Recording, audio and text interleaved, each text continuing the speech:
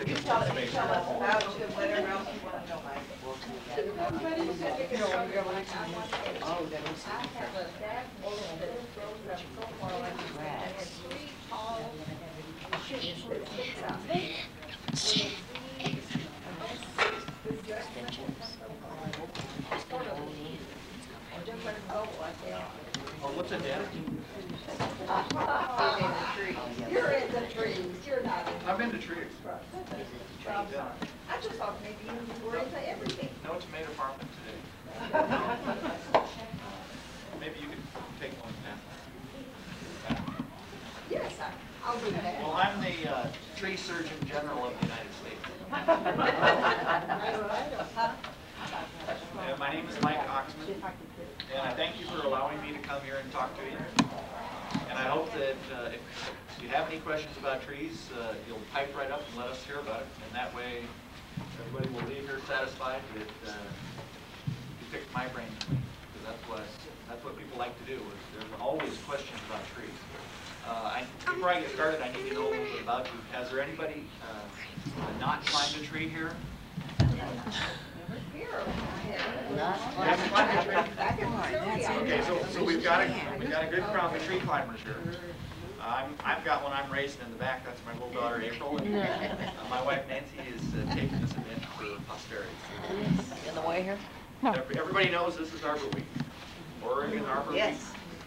The Arbor Week was uh, converted uh, over from Arbor Day in 1987 by the Oregon State Legislature. There was a law that they passed that said that one day is not enough. Because we've got a lot that we owe to trees, and we need more time in scheduling a lot of different events with schools and clubs and all kinds of uh, public agency plantings. So uh, the first full week in April every year is Arbor Week. And I guess everybody knows that uh, back in, I can't even remember how long ago it was, but uh, Arbor Day was started in Nebraska. This, I think this is about the 120th Arbor Day celebration, actually, the mayor proclaimed Monday as Arbor Day in the city of Grants Pass. Planted a tree uh, with the gold showman.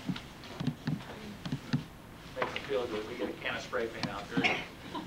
Seems, seems like a special event. Uh, so you've all got the handout on mature tree care. I'm, I'm gonna cheat and, uh, just read right off the top of one of these. Most of the time when I go look at a tree, there's a problem, unfortunately. Sorry to, sorry to hear that there's problems with trees, but, uh, what grows up must come down. Okay, these trees are temporary, just like us. They're on their way out. They'll be gone soon, just like us.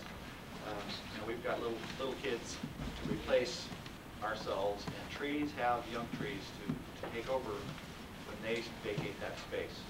So our goal as land managers, uh, or the plant manager, depending on how you regard yourself, is to make sure that the trees are still here as long as possible uh, into the future. And we need a, we need a permanent canopy covering the city. That's, that should be our goal. Unfortunately, the trees have been falling uh, left and right.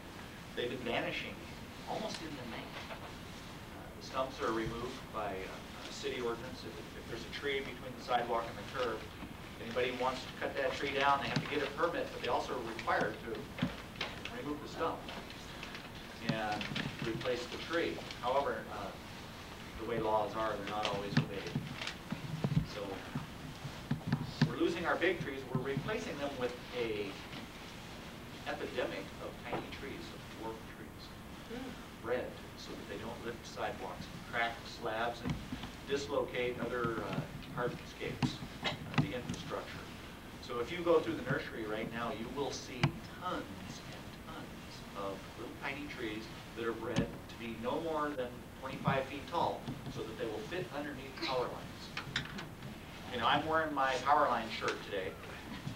Oh, I- I'm wearing my power line hat today. But, I uh, think they all should be around anyway. there's a science called utility arboriculture. A utility arborist is somebody that manages plants in utility corridors. And these little tiny trees, this epidemic is a solution towards tree wire conflicts. They can't occupy the same space. They cannot. So what are we gonna do? We're gonna plant short trees that really never get on up, they never cause problems. Knocking out people's power, allowing kids to climb the trees and in, touching the wires, retrieving kites or whatever. Uh, Trees rubbing on wires and uh, even trees that are near the wire falling on the wire during windstorms or just from decay. So these trees, since they're on their way out, uh, we have to somehow fix them. We can't do it. It's fallacy.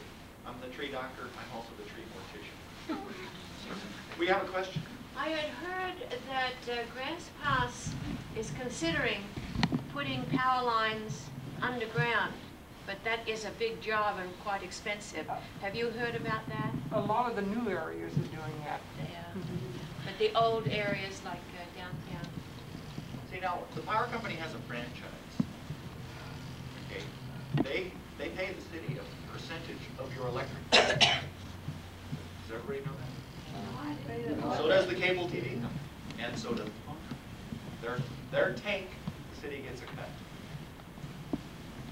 Uh, Why would the city make them do something that's gonna bother them? That They have this nice relationship. Uh, One of the problems with wires underground is that it cuts roots. It cuts roots, or as some people say roots. I don't, I don't know. So I say roof, and then when I tell people that I gotta climb up on this roof, they go, "Well, what are you talking about? You mean the roof? So for, for those people that think that, are- uh, that trees have roots, I'm sorry, they have roots. Okay, I just wanted to clear up some of these these misconceptions or these fallacies about trees. Um, Alls I'm gonna do is digress this whole time. Somebody raises their hand, we're, we're we're gonna jump on that question. But as long as, as long as there's a lull here, let me just at least talk about what I came to talk about. Uh, Problem is, I can't read this because I don't have my bifocals. Uh, Yesterday, I was wearing my 40 isn't old if you're a tree shirt. Well, I I hit that magic age, and for some strange reason, I can't read this. But uh, it says an effective tree management program should include four major practices, and they're inspection, mulching, fertilization, and pruning. Okay. So let's take them one at a time, inspection. And that's most of the time, uh, when tree surgeons are called in, they need somebody to translate this 3D situation into words and concepts that people can comprehend. So if you have a tree and you want advice, I can look at the tree based on my training and explain to you what it is that you're seeing. Tell you about the, the two clues to uh, disease in trees, which are signs and symptoms. Okay, the difference between a sign and a symptom is a symptom is the condition of the tree, and a sign of disease is a fruiting body, such as a mushroom from a fungus that's decaying the tree. It's termite frass, uh, it's sawdust collecting at the base of the tree. A sign is the physical manifestation of the invasive pathogen, whatever it happens to be. And you people are, you look like you've been gardeners for quite a while. Excuse me for saying pathogen. We're all Uh, weather We beaten. can I mean, it's got three syllables in it. It's a ring, is that weather? Yeah, right. And depending on my audience, I say pathogenicity. Uh, The pathogenicity of certain uh, decay organisms is uh, more virulent than others. Uh, There's a lot, there's a lot of Latin here, and trees, it's very difficult to talk about what you're talking about without using very specific terms. And there's one guy named Shigo, Dr. Alex Shigo, who was the uh, head of the Forest Service's research division. He was their chief scientist, and he wrote, he compiled a list of several hundred misconceptions or myths about trees. Uh, There are a lot of problems with our understanding of trees that aren't accurate representations of the true situation with that tree. So we look at that tree, I, I- get this one, this one comment all the time. This tree's too tall.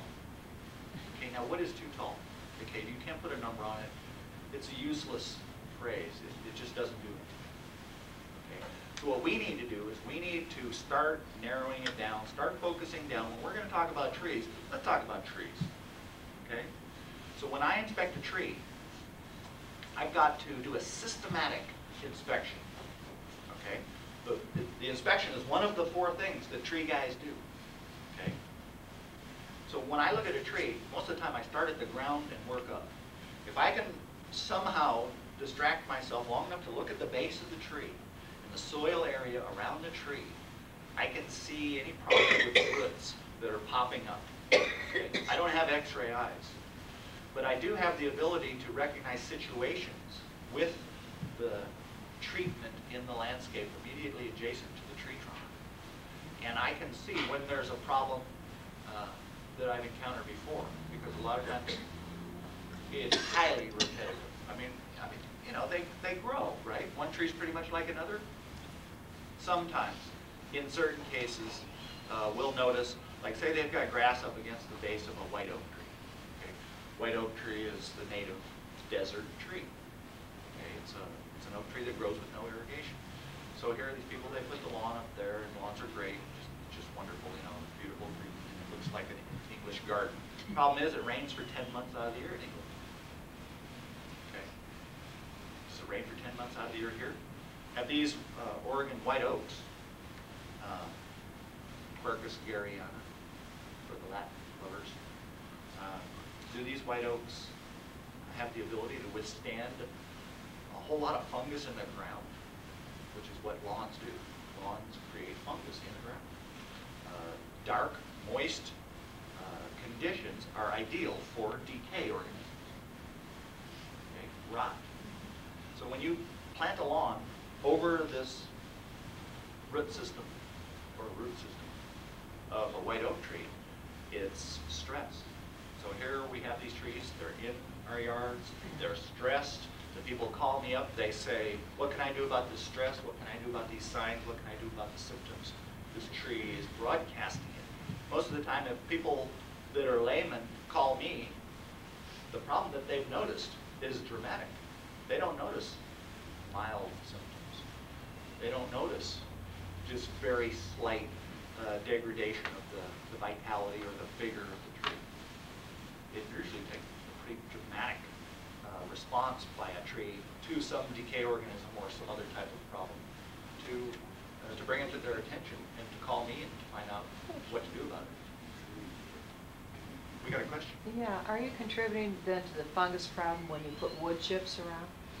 Okay, mulching is the, the term for putting wood chips around the base of a tree. Uh, the, one of the problems with wood chips is that they are decaying. As they decay, the decay organisms use up the nitrogen that's in the soil, starving.